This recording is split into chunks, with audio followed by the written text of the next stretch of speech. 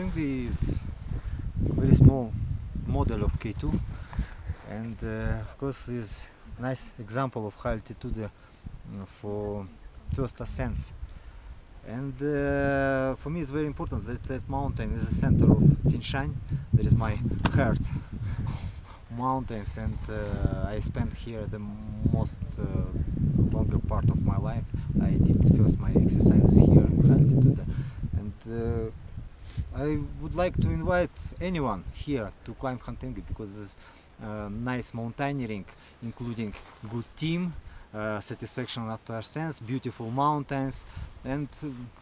weather is changing also become better better by year by year